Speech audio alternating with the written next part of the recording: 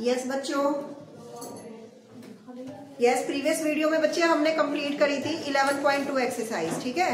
और अगर किसी को कोई भी क्वेरी है तो वो कमेंट बॉक्स में डाल देना, किसी भी तरह की कोई भी क्वेरी आपके पास है। आज हम स्टार्ट कर रहे हैं बच्चे 11 चैप्टर की मिसलेनियस ठीक है? मिसलेनियस जो एक्सरसाइज है, वो आपके पहले एग्ज़ाम्पल भी होते थे प्रीवियस बुक में, जो आपकी पहले ओल्ड बुक होती थी बट इसमें ऐसा कुछ भी नहीं है। इसमें सीधा ही एक्सरसाइज पर मिसलेनियस के क्वेश्चन उसने दे दिए हैं, ठीक है?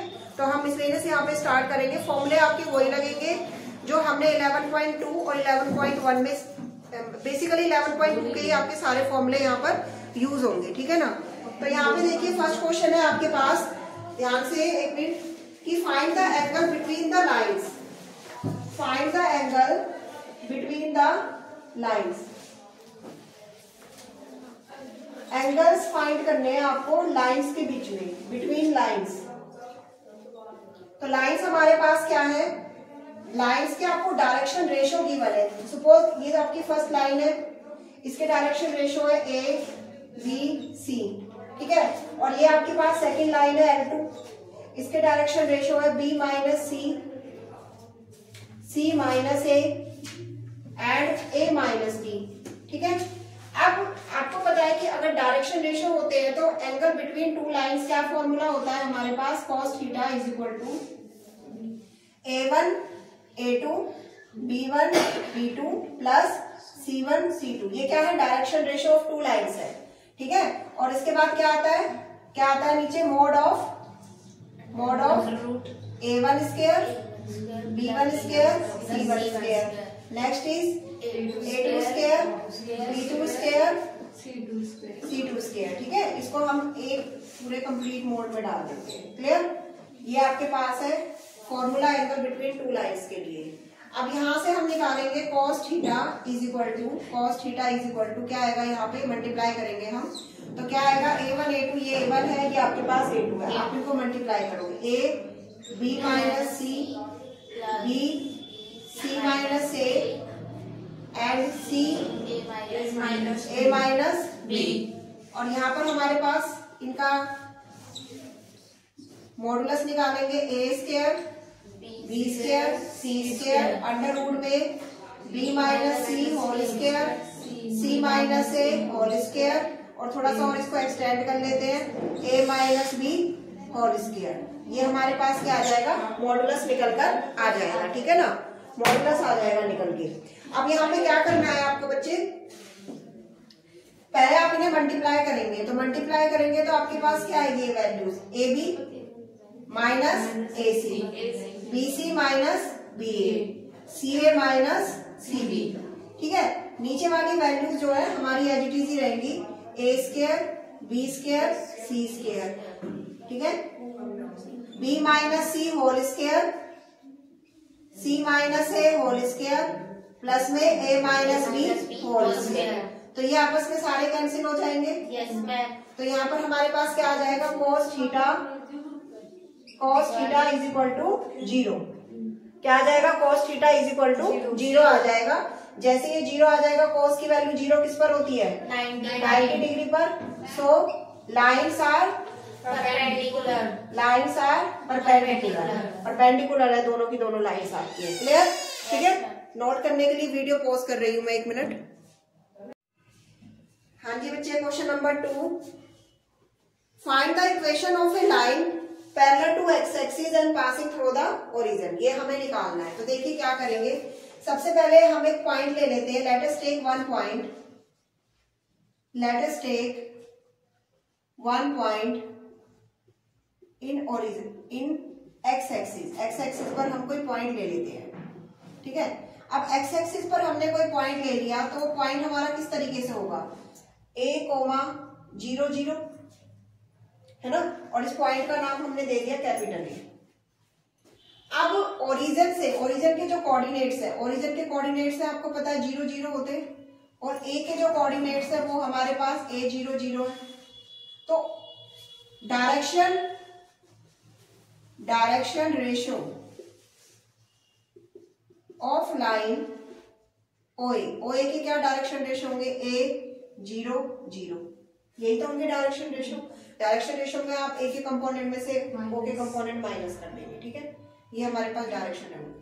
अब हम लेंगे इक्वेशन ऑफ़ लाइन अब हमें चाहिए equation of line which is parallel to X axis and passing through the origin तो जनरल इक्वेशन हमारे पास क्या होती है? इक्वेशन ऑफ़ लाइन होती क्या है? Equation of line is given by X minus X one upon में जो वेक्टर है आपका ठीक है? तो वेक्टर यहाँ पर लेंगे आप क्या होता है vector A next Y minus Y one B and Z minus Z one by C ठीक है? अब क्योंकि लाइन आपकी पैरलर है किसके? किसके पैरलर है? एक्स एक्सिस के। अब क्योंकि आपकी लाइन एक्स एक्सिस के पैरलर है तो जो पैरलर लाइन के कंपोनेंट है मतलब जो पैरलर वेक्टर है, वो तो हमारा ज़ीरो ज़ीरो होगा, है ना? ज़ीरो ज़ीरो हो गए तो जनरली ए बी सी आपके पास क्या आ गए? ज़ीरो ज़ीरो बट ए की जो वैल्यू है, जो फ़र्स्ट पॉइंट है ए है, वो आपके पास ए है यहाँ पर। बाकी आपके पास ज़ीरो ज़ीरो तो क्या इक्वेशन आएगी? X minus zero upon A Y minus zero upon zero and Z minus zero upon zero अगर आप ए को उधर ले जाते हैं ए को उस साइड ले जाते हैं तो आपके पास यहाँ पर क्या आएगी? नेक्स्ट इक्वेशन क्या आएगी? यहाँ पे इधर कर देती हूँ मैं। X minus zero upon one y upon zero and z upon zero is equal to a ठीक है? So equation of line equation of line parallel to x axis and passing through origin passing through origin origin से जो पास हो रही है, क्या होगी आपके पास? पासिंग थ्रो ओरिजन तो क्या होगी आपके पास? एक्स बाय वन ज़ीरो घटा सकते हैं आप। Y upon zero and z by zero ये आपके पास इक्वेशन होगी। देखिए पासिंग थ्रू ओरिजन जो ओरिजन होगा, वो आपके लिए ना जनरली ए वेक्टर की तरह काम करेगा। जैसे आपने ए वेक्टर पढ़ा इक्वेशन में और जो आपके पास वो जो लाइन है, जो पैरेलल टू एक्स एक्सिस है, वो किसकी तरह वर्क करेगी बी वेक्टर की तरह तो जो बी वेक्टर के कंपोनेंट है, वो आपके पास क्या आया है यहाँ पर? ए ज़ीरो ज़ीरो ठीक है? ए ज़ीरो ज़ीरो और ओरिजिन से वो पास कर रही है। लाइन जो है ओरिजिन से पास कर रही है। तो आपके पास जो पॉइंट है ए वेक्टर के, वो क्या मिलेंगे आपको? ज़ीरो ज़ीरो ज़ीरो ठीक है? तो हमने यहाँ पे सॉल्व करिए ये आपके पास रिक्वायर्ड इक्वेशन आ गई। क्लियर है? ठीक है? नेक्स्ट क्वेश्चन है, जैसे कि क्वेश्चन नंबर थ्री पर आते हैं हम। If the lines are perpendicular then find the value of k if lines are perpendicular, then find the value of k. If lines are perpendicular तो ये क्वेश्चन हमारा एक्सरसाइज में था सिमिलर टाइप का था बिल्कुल। उसमें हमने जो कंडीशन लगाई थी सेम कंडीशन हम यहाँ पे अप्लाई करेंगे। इसमें देखिए परपेंडिकुलर की कंडीशन में जो हमारे डायरेक्शन रेशियोज होते हैं, दो लाइंस के वो, उनका जो प्रोडक्ट होता है आपस में, वो क्या होता है? हमारा ज़ीरो होता है। तो थर्ड केस में थर्ड क्वेश्चन के ऊपर आ रहे लाइन्स है आपके पास x minus one by minus three y minus two by two k and z minus three by two ठीक है? नेक्स्ट लाइन इसमें हमें दी हुई है। नेक्स्ट लाइन यहीं पे मैं लिख देती हूँ। X minus one by three k y minus one by one and z minus six y minus five are perpendicular to each other given है आपको परपेंडिकुलर टू ईच अदर ये दोनों लाइन परपेंडिकुलर है। ठीक है? परपेंडिकुलर है। ये इसने हमें दिया है। परपेंडिकुलर में सबसे पहले तो मैंने आपको आपको जो ध्यान रखने वाली बात है कि जो लाइन्स है वो प्रॉपर फॉर्म में होनी चाहिए। एक बार ध्यान रखना। अदरवाइज़ ना आपका कड़ा करा सम सारा गलत हो जाएगा और नंबर मिलेंगे ज़ीरो सिर्फ़ आपकी एक छोटी सी लापरवाही की वजह से। आपकी जो फॉर्म है वो ये होनी चाहिए, आपका x minus x one upon a y minus y one upon b और z minus z one upon में सी ठीक है? इससे आप कंपैरिजन करके प्रॉपर फॉर्म में लिखेंगे। अब यहाँ से जो हमारे पास परपेंडिकुलर की कंडीशन है a one a two b one b two c one c two is equal to zero ठीक है? दो लाइन्स है, उनके हमारे डायरेक्शन रेशो है।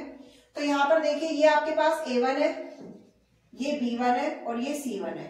इसी तरह से ये आपके पास ए टू है, ये बी टू है और ये सी ए टू है हाँ बी टू है और सी टू है। मल्टीप्लाई करेंगे आप माइनस थ्री को थ्री के से।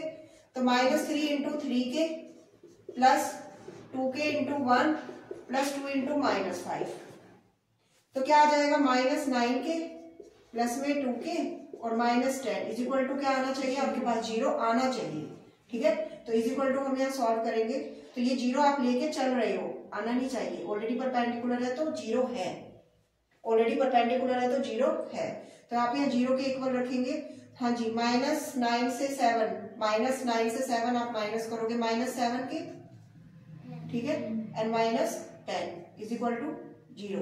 तो उधर लेके जाएँगे इसको प्लस टेन हो जाएगा and k is equal to ten upon में सेवन ये के की वैल्यू हमारे पास निकल कर आ गई। क्लियर ये के की वैल्यू हमारे पास निकल कर आ गई। तो यहाँ से आपके पास जो वैल्यूज़ आई है बेसिकली ये परपेंडिकुलर की कंडीशन लेकर निकाली गई है ये के की वैल्यू ठीक है? ध्यान। क्लियर है? ठीक है? नेक्स्ट हमारे पास है सम नंबर फोर की हम बात कर लेते हैं। एनसीआरटी बच्चे पढ़ते समय ना एनसीआरटी अपने पास रखा करो, ताकि क्वेश्चन को रीडिंग करने में भी सही रहे। और न्यू एनसीआरटी से हम कर रहे हैं। ओल्ड एनसीआरटी हम फॉलो नहीं कर रहे हैं। ठीक है? Find the shortest distance between the lines lines आपके पास है। You have to find the shortest distance between the lines sum number four की बात कर रहे हैं। देखिए शॉर्टेस्ट डिस्टेंस जो है, हमने एक्सरसाइज में इसका क्वेश्चन किया था। और कुछ क्वेश्चन मैंने सॉल्व भी करने के लिए दिए थे। यहाँ पर भी आपको मैं सिर्फ़ हिंट दे रही हूँ इसकी। जैसे आर है मेरे पास six i two j two k ठीक है? Plus lambda i minus two j plus में टू के दूसरी हमारे पास लाइन है minus four i minus k plus में mu three i minus two j और टू के, ठीक है? अब इन दोनों के अंदर ध्यान से देखिए, सबसे पहले हमें ए वन वैक्टर निकालना है। What is a one vector अगर आप स्टैंडर्ड फॉर्म से कंपैरिजन करें स्टैंडर्ड फॉर्म से कंपैरिजन करें तो ए है six i two j two k ठीक है? ए वन और ए टू क्या है? Minus four i minus k similarly जो बी वन वैक्टर है, वो है i minus two j plus two k. और बी टू वैक्टर जो है, वो है हमारे पास three i minus two j and two b सबसे पहले आप इनको चेक किया। बी वन और is not equal to b two. B one vector is not equal to b two vector. ठीक है? तो लाइंस कैसी हैं आपकी? स्क्यू लाइंस है। स्क्यू लाइंस इस तरह से होती है। ठीक है ना? स्क्यू लाइंस है आपकी। They are not parallel to each other. ठीक है? तो इस केस में जो हमारे डिस्टेंस होता है बिटवीन टू लाइंस के बीच में, वो क्या आएगा?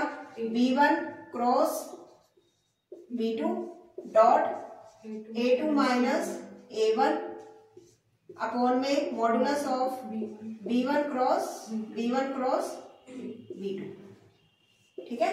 ये फॉर्मूला हमें निकालना है। B one cross b two भी मैंने आपको प्रीवियस क्वेश्चन में सिखाया था एक्सरसाइज के a two minus a one यहाँ निकाल लेंगे, दोनों का डॉट प्रोडक्ट और इनका मॉडुलस अगर किसी को इसके सॉल्यूशन में प्रॉब्लम है तो वो वीडियो एक्सरसाइज 11.2 की देख लें। ठीक है, वहाँ से फिर इसको सॉल्व करें, कोई प्रॉब्लम नहीं आएगी, आराम से इजिली सॉल्व हो जाएगा आपके लिए। ठीक है जी? यहाँ तक आपको करना है। ठीक है?